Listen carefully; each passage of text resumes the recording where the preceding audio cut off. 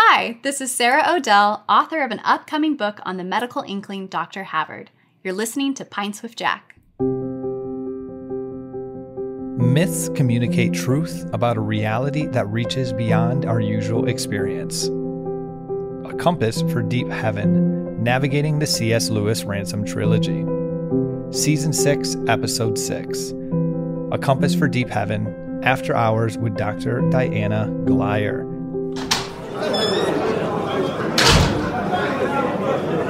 Welcome, everyone. Here on Pints with Jack, we're working our way through the works of C.S. Lewis. As we mentioned at the start of the month, from time to time we'll be consulting with experts about the book which we're reading this season, the first in the Ransom trilogy, Out of the Silent Planet. And today we're delighted to have Dr. Diana Glyer return to the show once again to discuss a book she edited on the subject in 2021. In today's opening quotation about truth and myth came from her book, A Compass for Deep Heaven. And we selected these, uh, particularly this quote, because these ideas are really the ideas that are going to come across in the Ransom trilogy are really powerful. And we want to unpack some of those and give you a bit of a teaser of that that she uh, through this book uh, demonstrates to us. And so we'll have a conversation on that here today. But first, let me introduce our guest. Dr. Diana Pavlac Glyer is an award winning writer who has spent more than 40 years combing through archives and studying old manuscripts and has read every single word of every single inkling. Her scholarship, her teaching, and her works as an artist all circle back to one common theme creativity thrives in community. She has been on this show several times, and she's returning once again to speak to us about Out of the Silent Planet and a book which she edited in 2021 A Compass for Deep Heaven Navigating the C.S. Lewis Ransom Trilogy. Dr. Diana Glyer, welcome back to Pints with Jack. It's a joy to join you today. I'm so excited about our conversation. Well, and for me, it's uh, anytime we're in the same room is uh, a time for me to learn and to delight. Uh, I was so thrilled earlier this summer to get so much time with you, especially during the first week of our pilgrimage. And um, uh, time with you is one of the highlights of my life. I was looking back at the pictures of um, of the Westminster Abbey nine years ago today, and remember waving at you across the transept and a couple of pictures together. And so, thank you for joining us as we uh, set out uh, set out in our own spacecraft uh, towards an unknown world. Sounds wonderful. Thank you uh, so much, Andrew. Well, in two, I didn't really realize this, but in inspiration or the motivation of that common theme creativity thrives in community. This andrew might be the first ever guest after hours we've done with two hosts yeah. you and i at the same time. And so i'm excited to see the dynamic and where this goes. Usually it's just one of us interviewing an interview an uh, individual Diana and listeners, uh, yeah, yeah, a couple of years ago, um, we stopped doing as many of the three of us, and so we had various um, various combinations. And Matt and I always enjoyed our time together, um, but we never really have done an after hours like that. And Diana, the reason that it's both of us is David gave us a list of the future guests, and Matt and I had a grudge match fight over who would be able to interview you, and obviously I won. Well, I uh, you guys may be familiar with an article that I wrote called "The Algebra of Friendship," and it goes yeah. back to that idea that Lewis borrows from Charles Lamb that different people draw out different dimensions or aspects of ourselves, and that the more the merrier, literally, because we see more of one another when there are more people around to draw out these various aspects of ourselves. So I don't want to get too crowded in here, but uh, I think that this will be a fantastic chance to bounce some ideas back and forth. Well, and last last season we talked about the four loves and that poignant quote um, of Lewis's. Now that Charles is gone, I don't have more of Ronald. I actually have less of him. Mm. Speaking of Charles Williams and and J.R.R. Tolkien, so I'm I'm glad it's the three of us here. Well, before we dive in, Diana, what have you been up to since the last time you're on Pints with Jack? I want to say that was you and I, maybe a year and a half ago, potentially. Yeah, uh, uh, it has been a very uh, busy and happy season for me. Lots of new projects underway, lots of fun things. I'll be returning my full attention to the study of the Inklings in a few months, and I'm excited to announce later more about that particular project. But in the meantime, I, I do have a new book that just released this week.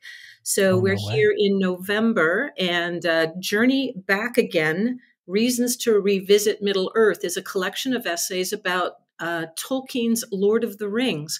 And that just was released this week. And I'm excited about that book because already I'm hearing from people who have never read Lord of the Rings and thought, well, maybe I need to actually read the book, not just the movies. And God, no, not another season of Rings of Power.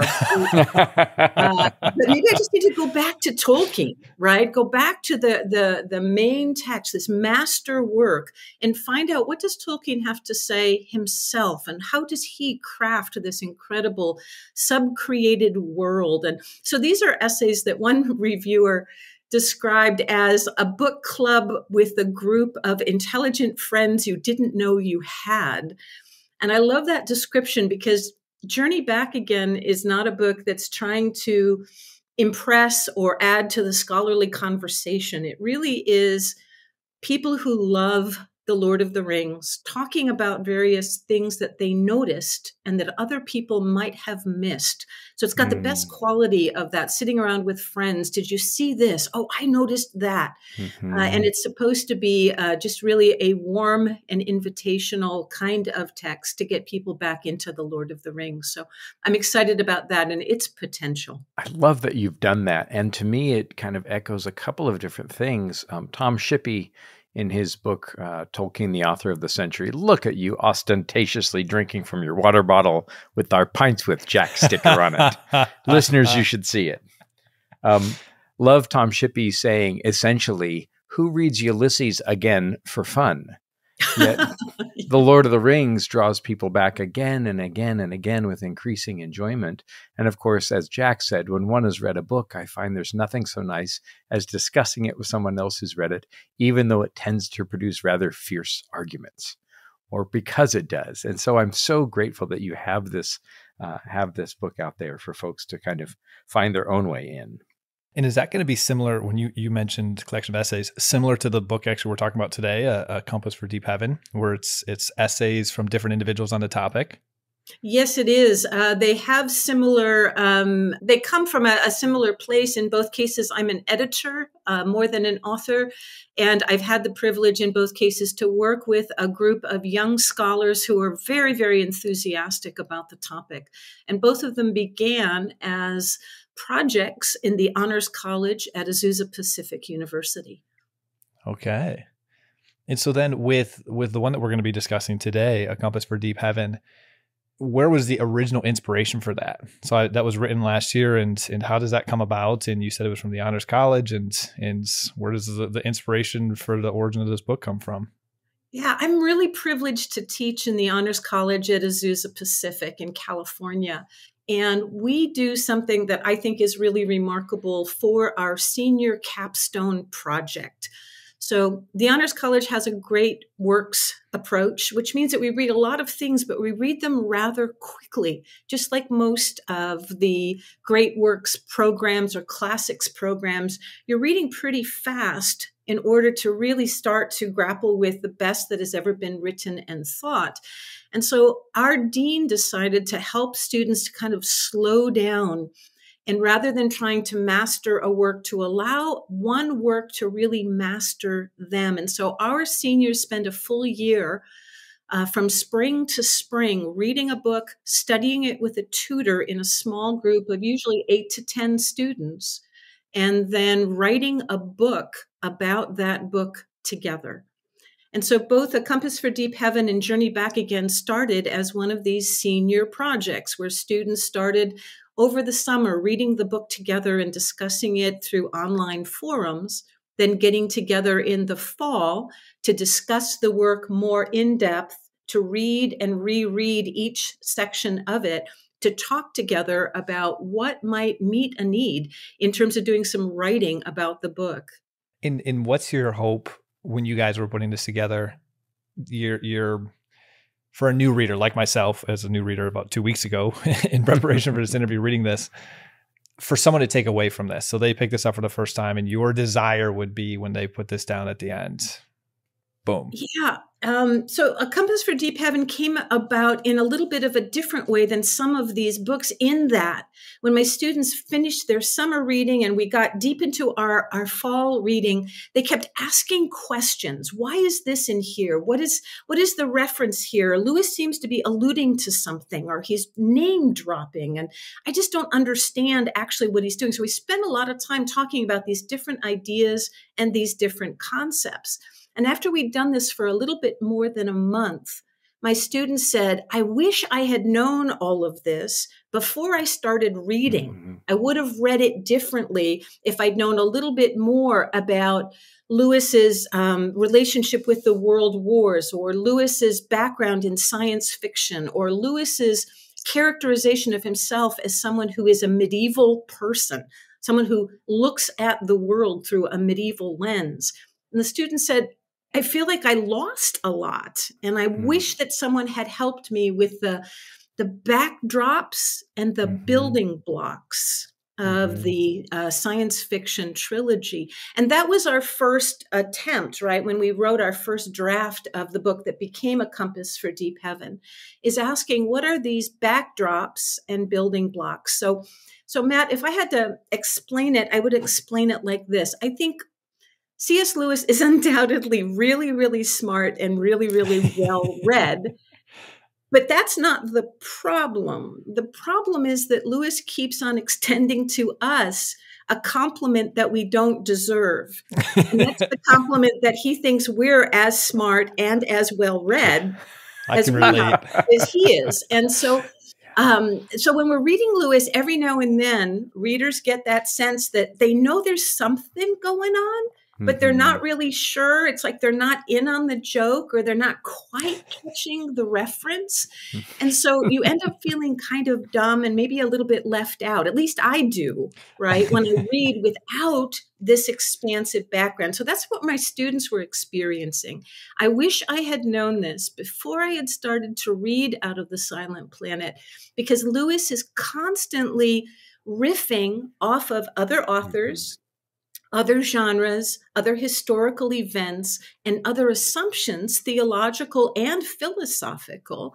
And my students said, I just didn't catch the reference. I felt like an outsider. So, mm. to answer your wonderful question more directly, when people read A Compass for Deep Heaven, what I hope they'll get is a sense of being, having a door flung open and being invited inside to hmm. the kinds of things hmm. that Lewis is using as the fundamental building blocks as he begins working on this science fiction series.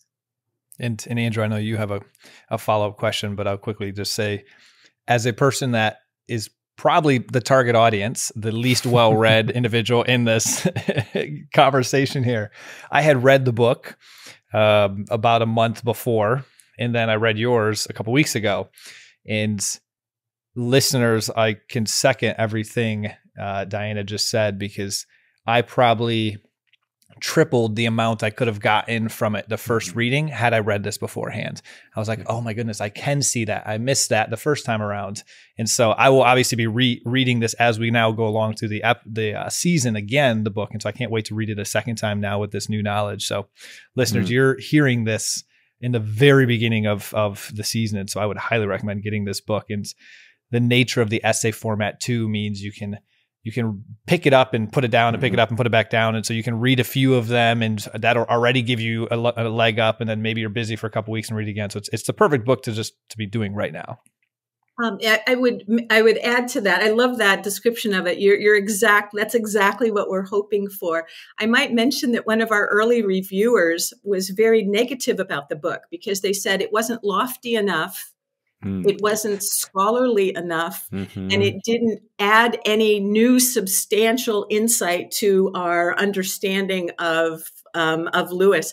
And I was like, you know, that really wasn't the goal, right? Yeah. This isn't a book. you book. read it correctly. we weren't trying to do that. this isn't a book for scholars who are looking for the latest interpretation or the newest, like little factoid or bit of insight. I love books like that. I write books like that. I appreciate books like that.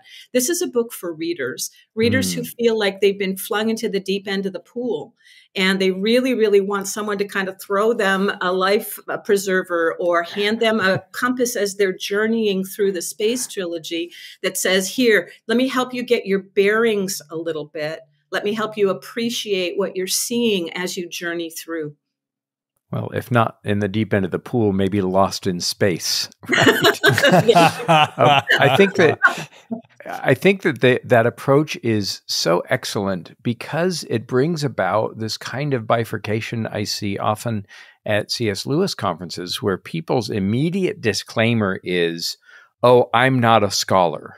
Oh, or yeah, I haven't read that much Lewis. Yes. And they've read enough Lewis to allow them to buy a plane ticket and pay a you know a fee to come across the ocean and attend a conference about Lewis, but they don't feel like they have read enough Lewis, which is actually how I started my C.S. Lewis 101s. I try to always press back with that marvelous French word amateur. Yes. Because an amateur is a lover. And we are all amateurs when it comes to Lewis. And Lewis himself is the ultimate amateur. He loves other books and he loves other periods and he introduces them to us gleefully. Diana, you'll remember this incident from one of the biographies or somewhere, the letters perhaps, um, where he finishes a lecture and he's walking somewhere with another professor. And Lewis continues talking about the subject, right? Medieval literature, whatever. And and the his colleague, his professional colleague, says effectively, "Good God, man, the bell rang." Why are you still nattering on about that? But Lewis loved the topic and wanted to live in that situation. And the scholars that I know, um, eh, it, I think that it's categorized by love, right?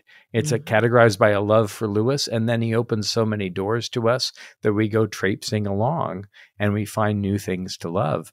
And that love also describes what happens when the best Lewis scholars get together. It's more exulting in something that we love. And so to have this book by people who love Lewis about a book that they love, which Lewis is writing out of love, I think is just such a, an important contribution. Thank you. Thank you. That's exactly right. Thank you so much. I did have a question as we go into myth, and this is something that I would love to get your take on because part of what I try to do when I contextualize the ransom books for somebody who's never read them is I say, you know, Lewis wasn't that interested in the technology or even the geography or astrology or uh, astronomy of the space travel. He wasn't so much interested in the science.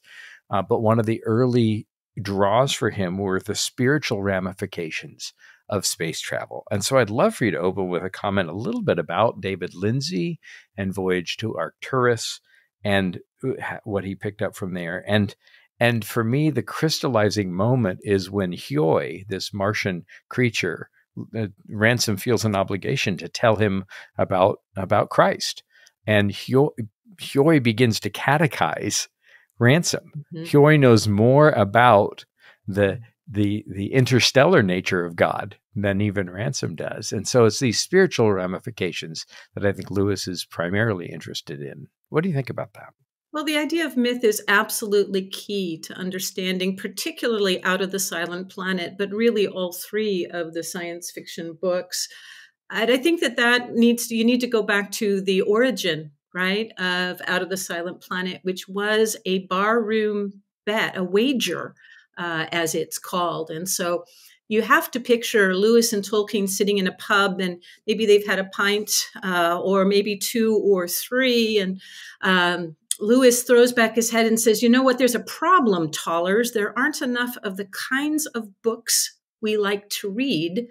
We'll have to write them ourselves. And this is an absolutely and utterly absurd statement right? It's a bunch it's like it's like a bunch of um, you know 15 year old star wars fans sitting around saying there aren't any good star wars movies coming out. We need to make one ourselves on our iphones. I mean it's just it's just absurd. Neither lewis uh, nor tolkien had written uh, a novel per se at that time. They were both uh, unknown academics, and they're sitting around saying, We're going to write the next uh, best selling thriller, which is how they perceived it. And so they continued to talk, and it was like, What do we want to write? What is missing? And I can really relate to this because this was my experience too as a high schooler.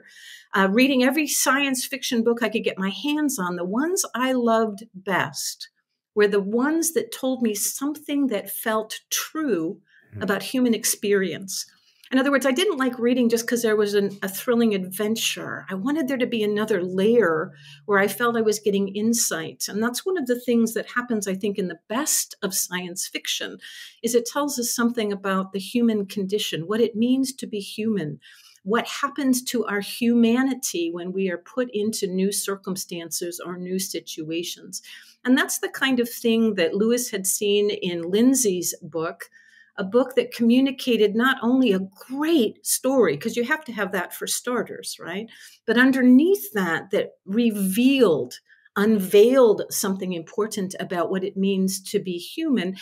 And perhaps even broader, something that reveals truth. So, English teachers uh, like me when we're teaching introduction to literature classes and we talk about literature, we talk about myth in a way that's very different from the way that, say, the average person uses the word in journalistic terms, right?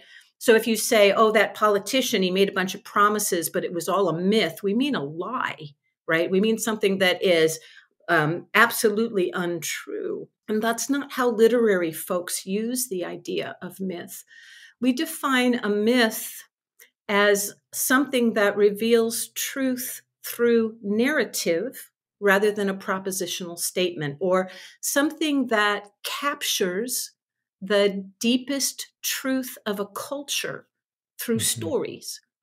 And so mm-hmm. that's what Tolkien and Lewis were sitting down and setting out to write was a myth, something that would tell something true about the nature of reality, even though the events weren't actually real. And it was this challenge, right, that they set off uh, to uh, to write those those novels that night. Tolkien started writing a book that ended up um, uh, called The Lost Road, and it never he never finished it. Like most of what he started, he didn't finish it. He got a few chapters into it, but later Tolkien said it was that project that gave him the seed bed for The Lord of the Rings, and so it was productive, even though he didn't finish the particular book.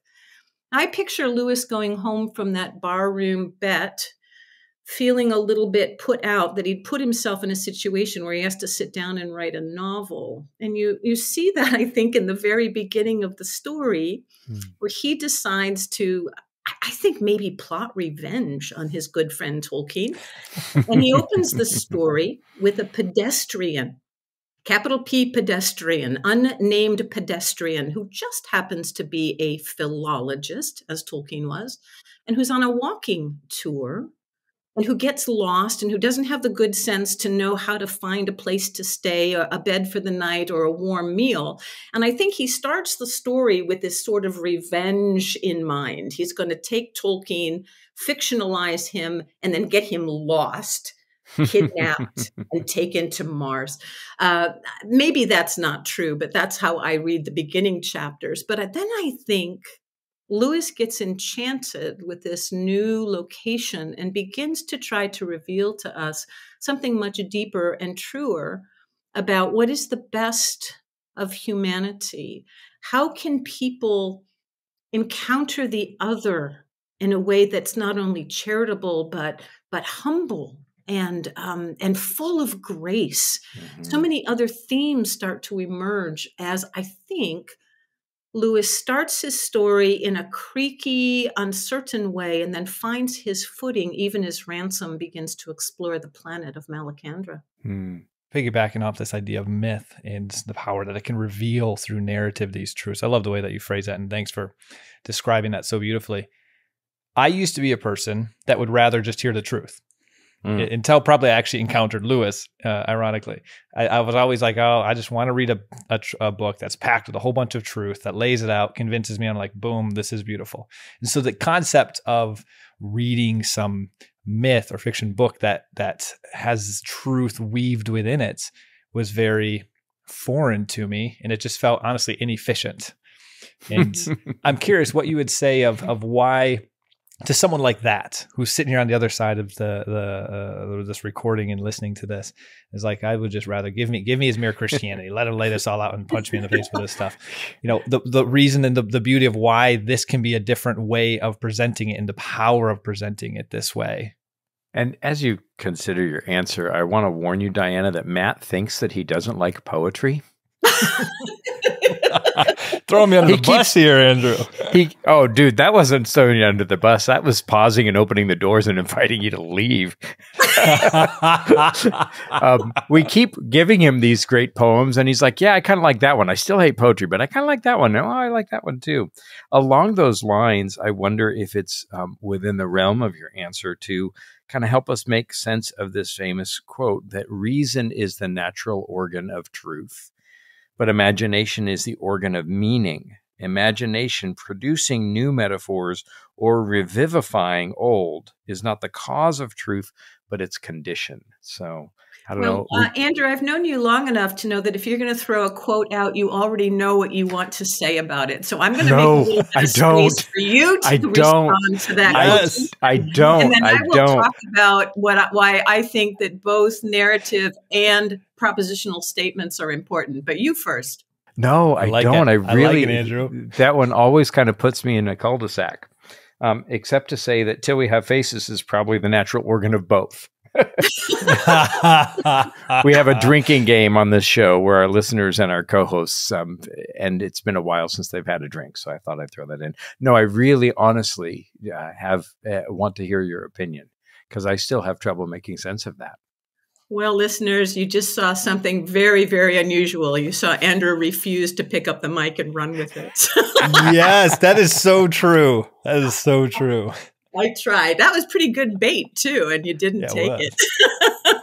Listen, why why play with minnows when you've got the great white on the hook? Come on, tell us. What's, oh gosh. Hey, so I'm gonna I'm gonna go back to Matt's question, sure. which he asked I think an hour and a half ago, which is why not just give a list of propositional statements? And mm-hmm. um, what I would do, what I would say to that, uh, simply enough, is that it is much to our benefit that Lewis does both. That mm-hmm. there are propositional arguments that are absolutely rock hard and crystal clear. There is poetry and song, and then there's also wonderful storytelling. And I think that different people find one or the other of these languages more their native tongue. And so Lewis, understanding this and thinking about the people to whom he is writing, uh, does this wonderful variety of approaches. And then, if you're paying attention, he has uh, maybe a primary mode but he has the other ones tucked inside. So even when he's arguing in mere Christianity, there are stories and mm. metaphors and analogies that are sprinkled through that bring these things to life. Even in Out of the Silent Planet, there's poetry. Poetry itself is talked about and celebrated, but the language of Out of the Silent Planet is, is remarkable. And one of the reasons that I fell in love with this book at the at the start if i could just read the beginning of chapter 1 listen yeah. to the poetry of the language right it starts out like this very unlike an hg wells or jules verne novel. Lewis starts this way. The last drops of the thunder shower had hardly ceased falling when the pedestrian stuffed his map into his pocket settled his pack more comfortably on his tired shoulders and stepped out from the shelter of a large chestnut tree into the middle of the road. A violent yellow sunset was pouring through a rift in the clouds to westward, but straight ahead, over the hills, The sky was the color of dark slate. Every tree and blade of grass was dripping, and the road shone like a river. Hmm. Poetry. It's mm-hmm. poetry right from the start. And so Lewis used all these different modes. Lewis tucked the um, qualities of each in everything that he wrote. But Matt, what I would also point out to you is so does Scripture. Mm. Holy Scripture incorporates mm. parables, but also Ten Commandments, but also Psalms that express not only our highest joys, but our deepest laments.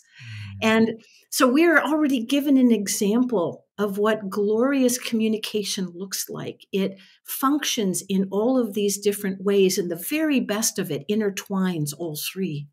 Mm, mm. Well said. you know, that reminds me of that marvelous lecture we heard, I think, on a Saturday morning uh, in Oxford from Father Michael Ward, who gave me this it gave us all this kind of helpful thought category listeners if you don't know lewis's essay meditation in a tool shed it's immediate and vital reading um, our friend uh, bruce l edwards of blessed memory um, said that he started every class with that essay and i know that bruce was your mentor for yes. your graduate work and became a, a, a dear friend through the years but that you can look at a thing or along a thing and then Spud then put on the board the ats versus along. So abolition of man is the at, and that hideous strength is the along, or four loves is the at until we have faces is the along. Early prose joy, the at, surprised by joy. So, and that thought category. But of course, as you say, the two kinds of things, the imaginative and the rational, continue to intersect because he's such a cohesive writer.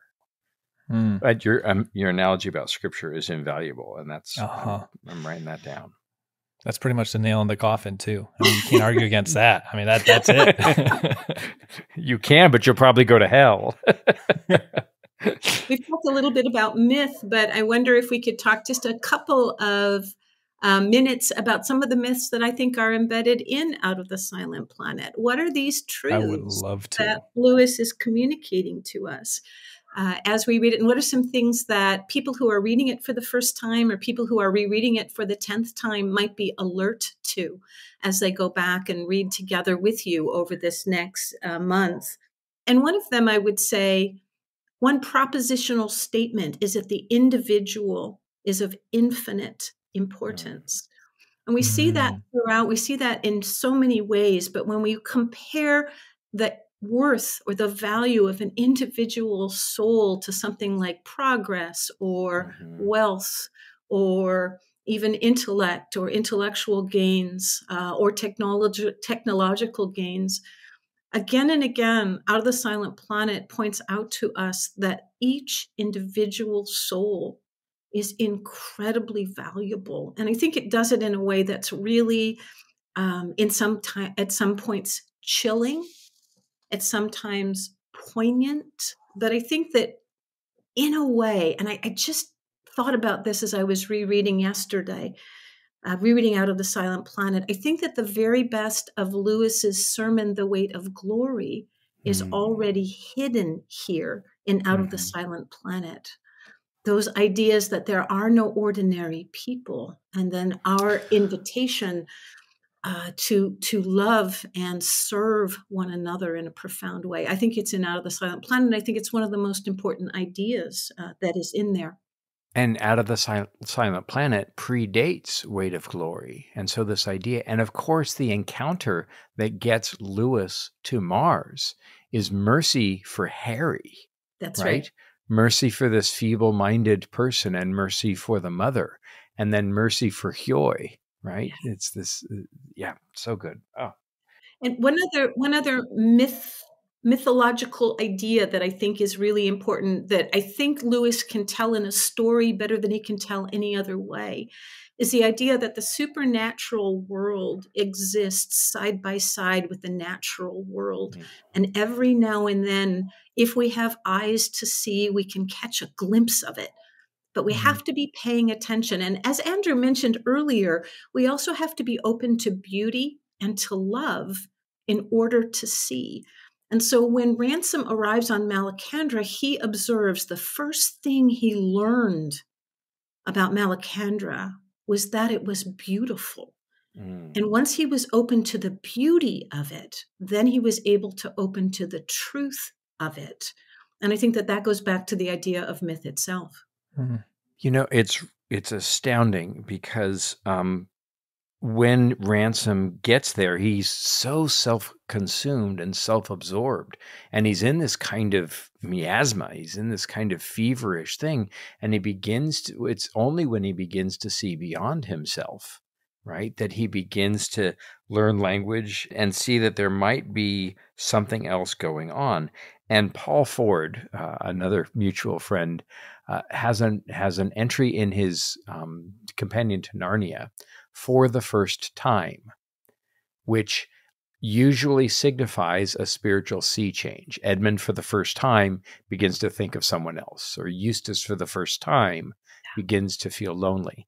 And we have several instances of that phrase in the early chapters of Out of the Silent Planet for the first time. And it's when he gets beyond himself and begins to be in relationship to somebody else who is not, as Lewis famously said, you know, like most aliens, like we see most aliens portrayed, he's not somebody to be dominated or somebody who's a ter- ter- you know terrifying monster, but he's another now. He's another he's another soul. Um, it's when he begins to reach out and get over himself that his eyes begin to open, which is what we see with Lucy and everybody else. Mm-hmm. Exactly right. Beautifully said. Well done. I want to I want to go slightly deeper into one of the concepts you just brought up uh, when you were when you were talking about the myths that stick out to you, and I loved that one on the the value of the individual. That the very first one you had mentioned because the, the essay that you have in your book on scientism really hit me and I love that Lewis took scientism progress, this idea, to the extreme of what it can mean for the individual. And you see this in Out of the Silent Planet, what you just mentioned. It almost devalues the individual, and some extreme consequences can come from that for the sake of progress, for the sake of science. So we, we saw that side, and you mentioned that beautifully. What in Out of the Silent Planet does Lewis propose as the cure to that. So okay, if if if that's not the way to think about things as pro- progress is the ultimate good, the individual, mankind is more important than man. That was something that stuck out to me when I was reading that essay. And so we can we can do things in the name of mankind rather than uh, for the sake of man. What would be the cure that we see out of the silent planet as as a reader is reading that? I think that chapter is one of the most important chapters because I think that people can mistakenly assume that Lewis is anti science, and he's not. Not in any way, mm-hmm. shape, or form. It wasn't his first love, you know. He um, he's a literary guy, but he really did appreciate science for what science has to offer. What he's warning us about is scientism, which is taking science as if it is the only uh, lens through which we can see the entirety of reality.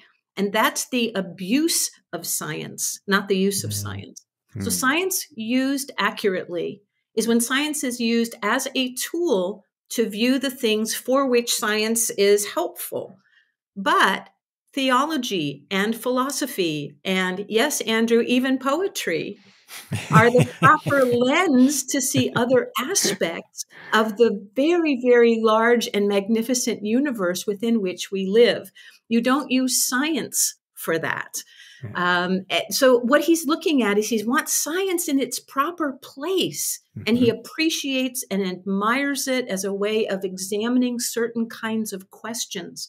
But there are other questions, mm-hmm. and there mm-hmm. are other aspects of our human life and of the universe within which we live that need a different approach. Uh, and, and you can think about the various disciplines that you might study at college, each one as a different kind of lens or approach or tool, as it were, to be able to examine some of these larger questions. So the proper response to scientism is to respect science for the things that it has to mm-hmm. offer, mm-hmm. but to mm-hmm. expand the range of questions and the different kinds of inquiry that are available to us, and to use the proper means of inquiry mm-hmm. to ask and answer the right kinds of questions.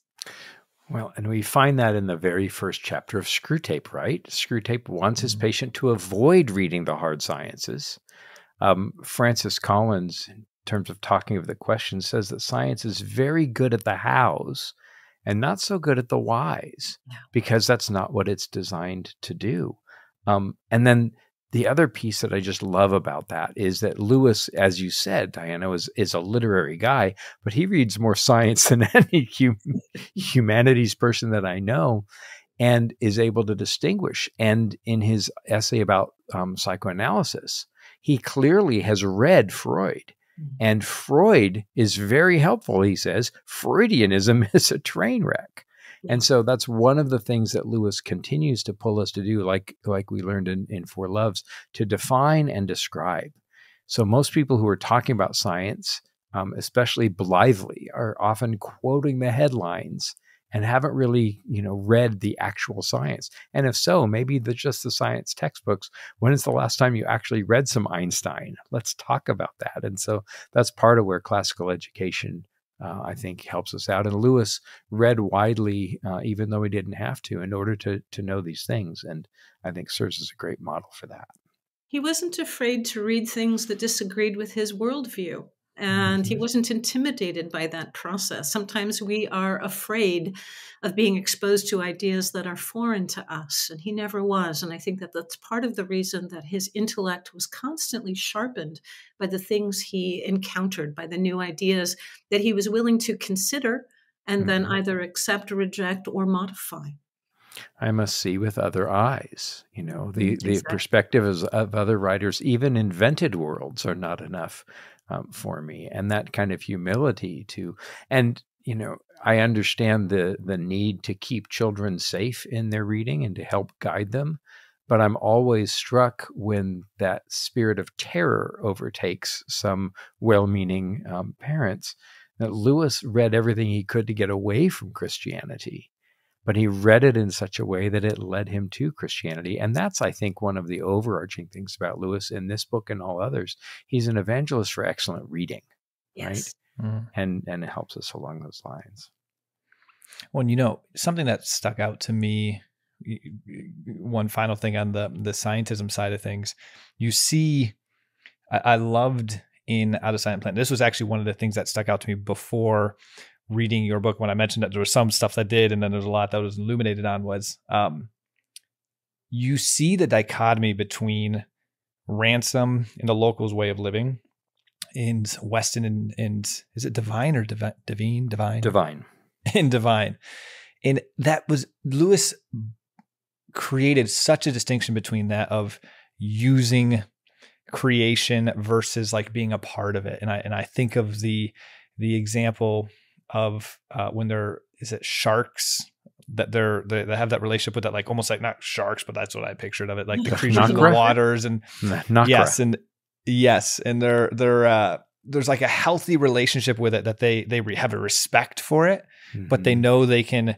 if they win that battle they can use that for food but they might lose it too and that's okay and death is okay and it was just mm-hmm. a really mm-hmm. beautiful way of living like i'm looking at uh, when i was reading it and this was again before really having a ton of context or knowledge on the the the series i was like man i wish i just had this healthy relationship with with um, creation uh, more or less mm-hmm. and so that really stuck out to me as just a beautiful dichotomy that I, I loved in the book that not only a healthy relationship like in in that way but also with danger and with mm-hmm. difficulty mm-hmm which mm-hmm. are things that we think the ideal life would be completely void of those things of sorrow mm. and loss. And yet mm. we see embodied in this culture uh, a, a, kind of um, embracing and willingness to get the, the best out of all of it. Uh, mm-hmm. No matter what, even if it isn't what we might prefer. And that posture toward our circumstances is one that we learn, I think, to go back to our earlier conversation, we learn by example. We learn by seeing mm-hmm. how Hyoi and the others interact and respond with these realities more than we would if someone were to say, okay, when you are faced with a dangerous creature, here are the four steps that you should follow. We enter into the narrative, to the story, to the example. And I think that we are uh, challenged and even encouraged by it, don't you? I was question. And and for me, I remember reading these books in my mid twenties, not long after um, not long after Kegi introduced me to Lewis and he started to save my adult faith and develop my intellectual life and teach me how to read. And I remember it was in my 20s when reading Out of the Silent Planet and Perelandra that those ideas uh, that later I understand theologically are the are the practical devotional application of the the Pauline statements to rejoice in the Lord always and to give thanks in all circumstances and and Hyoi's willingness to go face death and to take whatever Maleldil sends to me, he says, and then you know then to, uh, Tinidril when in Perelandra, shall I not receive the next wave? Shall I not take whatever it is that the Lord sends me, even if it's a dire or difficult thing? And to me, that sense of not false Pollyanna ish optimism, but that sense of faith that allows me to deliberately rejoice in the depth of bad circumstance. I didn't understand until we were discussing today that that was seeded and and fostered and grown when I read these books about how to believe in the Lord and how to receive whatever Maleldil blessed be He, might send to us. And and that's the, and Lewis worms that in. I didn't even know that in that story he was giving me a theological theme that I preach about all the time now. So, yeah, what a gift. Past watchful dragons. yes, that's exactly right. Yes. Well, let's turn to one final part that I'd love to have uh, get your thoughts on. I really loved in your book the essay on medievalism, and the reason it stuck out to me is I feel like people today could use the exact same lesson, particularly this focus on we, we pretty much have a materialism, a scientism today. Progress is super important and it's led to anxiety, depression. And he actually talks about medieval, medievalism, kind of the semi return was the word I put in, in quotations to that way of thinking can be an antidote to the anxieties of uh, the current times. Now he was talking about then, but I think they apply today.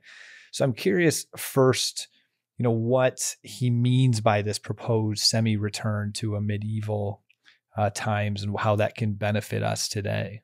Mm-hmm. So when when Lewis is thinking about medieval times, he's not thinking about the um, knights on horseback jousting in the arenas. He's thinking about something else. He's thinking about a medieval worldview. And of course, he described himself as one who held a medieval worldview. And so he's speaking in a way as a native, as someone who kind of looks at the world in this way. And there are a number of ways in which his medievalism is evident in the science fiction trilogy. I think. Uh, one big part of that, actually, a big part of a Compass for Deep Heaven is talking about medieval themes, not only what it means to have a medieval worldview, but also the importance of the King Arthur legends, mm-hmm. which are mm-hmm. so important to understanding what um, Lewis is doing, particularly in that hideous strength. And so I found those chapters personally to be really enriching because of the hmm. details that uh, Daniel, who wrote about Arthurian legend, goes into and the way that he unpacks that and shows the close connection, particularly if anybody anybody anywhere has ever had trouble with that hideous strength. Uh, those chapters I thought were particularly useful for reading that book. But anyway, what is it about a medieval point of view that's helpful? One of them is an idea that's hard for us in contemporary times, and that's the value of hierarchy or order. Uh, medieval worldview was a very ordered way of looking at the world, and there wasn't a tension in seeing things in their proper relationship to one another. When we think of ideas like hierarchy, or we think of leadership, or we think of submission, all of those kinds of terms, that whole class and category of terms has a negative uh, kind of connotation for most of us. But for Lewis, it had a very positive connotation. Things rightly ordered in the Aristotelian sense, right? They were ordered uh, and in in proper relation to one another, and that gives a sense of peace. It gives an um, a clarity about what our role is and what our task is. Each of us finding our place in the universe and feeling safe and secure and having great clarity about those uh, ideas. And then it goes back also to this other idea that I mentioned about the reality of the supernatural world side by side with the natural world, that these things were not, as we tend to think of them, compartmentalized. So, for many mm-hmm. Christians today, we think about okay, in the morning, I do my 15 minute morning prayer. And then on Sunday morning, I go to Mass or I go to church. And that's my church part of my week. And then I have the rest of the week that I divide into my work part and my family part, and so on and so on. And we tend to live compartmentalized lives. And a medieval mindset absolutely refuses to do that and sees particularly that stream of the supernatural as as uh, under underneath and around um, everything uh, that we do, everything that we think, and every aspect of our life, and that kind of an integrated way of connecting the natural and the supernatural, and also these various threads of our lives, I think, is particular to uh, the way that Lewis looks at the world and the, the way that he's inviting us uh, to encounter out of the silent planet. I had a priest that once had mentioned, "Don't think of your faith as like." A, a, a cookie with a bunch of chocolate chunks in and you try to fit as many spiritual practices those chocolate chunks in but it's like the yeast that that makes everything mm. rise oh that's um, beautiful i love that yeah because i'm i'm the one that's like compartmentalized okay i've got to do this this let me squeeze this and maybe i can add this spiritual practice to my life and just constantly trying to layer more and more in and i feel like i'm doing better if i layer more in and it's like well is, is it really permeating everything though? I mean, it's not a bad thing necessarily to layer those things in. They can maybe help with the permeation part of it, but the ultimate goal is it's just part of everything you do the way you think the way you act the way you operate well i think that that's i love it. yeah. it and that's i think one of the gifts that the medieval period and the and the writers therein you know uh, have to offer us is this kind of cohesiveness and unity and i was just reflecting as you all were talking half of western civilization from the time of the bible and the aeneid from virgil and christ till now one half of everything that we've done has been in the medieval period and we disregard it to our great uh, our, our, great disparagement. Um, it gave me the inspiration for a talk I'd love to give sometime. You can see how medieval has become a real pejorative and means benighted. But um, you know, somebody will say, "Oh, well, that's positively medieval." Yes. So now I want to write a talk about Lewis's medieval worldview called "Positively Medieval." You know, and and look at the ways that you know all of that, um, all of that stuff in that thousand years uh, of time. There's still real depths of that to plumb to us, and a lot of our Ignatian spirituality, a lot of you know the Benedictine stuff, a lot of the stuff that are important to Christians um, trying to practice historical Christianity was developed because the medieval period starts with the fall of Rome and kind of comes hard on the heels of the baptisms you know of of Constantine. It's around 500 and i think that you're so wise to mention arthur who lives around 500 and the legends start around there. And so i think that those thousand years or so have a great deal to offer us and not just wishful thinking and renaissance fairs which i like I like both wishful thinking and Renaissance fairs. And turkey legs, giant turkey legs. absolutely, absolutely, and over dramatized uh, Shakespeare. But but I think that Lewis does invite us into that period. You know, he he uh, on the genesis of a medieval book and. Uh, his discarded image and these and his invitation to read a very old book after reading a very new book and what he means is something from you know perhaps that period or earlier You mentioned the discarded image, which is uh, one of those underrated Lewis books. Everyone should read it. And for those who have read Out of the Silent Planet a number of times, a lot can be gained by reading a discarded image alongside of uh, Out of the Silent Planet. And for those who are looking for that extra little bit of challenge, uh, I would challenge you to take a look at that. Mm. Before we wrap this up, um, Diane, I'd love. Uh, is there any anything either from the book, or Out of the Silent Planet, or your book that's uh, maybe we miss that you think could be valuable? Uh, no pressure, by the way. you don't have to are... come up with anything here, but create some space. Sometimes when you're putting together an interview, you don't realize the person on the other side's like, "Well, this would have been a great thing to ask." and many of our folks are starting to read Out of the Silent Planet for the first time, or the first time seriously. And yeah, I think that Matt's wise in asking you to guide us better. Well, I would I would just make an observation to underscore something that we've talked about and that I'm delighted we've spent some significant time on, and that's opening our hearts to love, to experience mm. story, uh, not just to read it, but to really enter into it. Lewis's language can be a little bit dense as we get started. It's not the swift, forward moving, action packed storytelling that we might be used to that if we relax, we listen to the language and the poetry of it, we open ourselves to the possibilities of feeling and not just noticing. I think that those mm. are important mm. things. That's what struck me when I read it the first time when I was in high school. I had been reading a lot of science fiction. I picked this up, not sure what to expect, and I allowed myself to fall inside.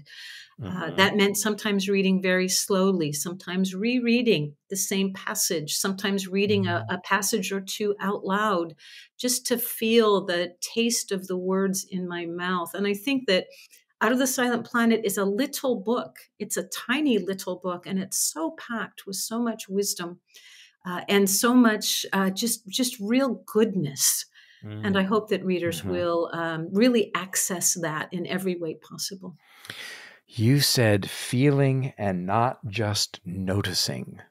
And that's so important. And of course, it brings to mind Lewis's ideas of the enjoyed as well as the contemplated.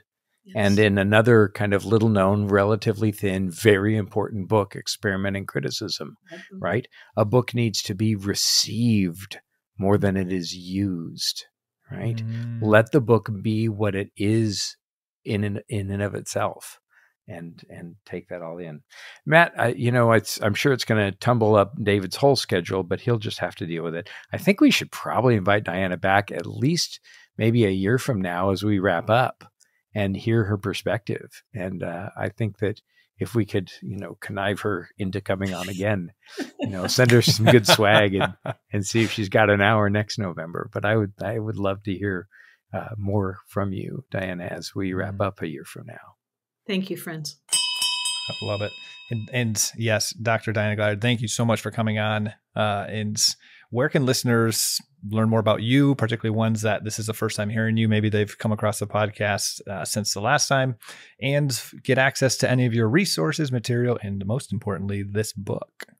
So let me let me make a couple of notes. First of all, I appreciate uh, the accolades, but I want to make sure that read that listeners are clear that I am the editor, not the author of A Compass to Deep Heaven, and I'm actually the co-editor with the very talented uh, Julianne Johnson.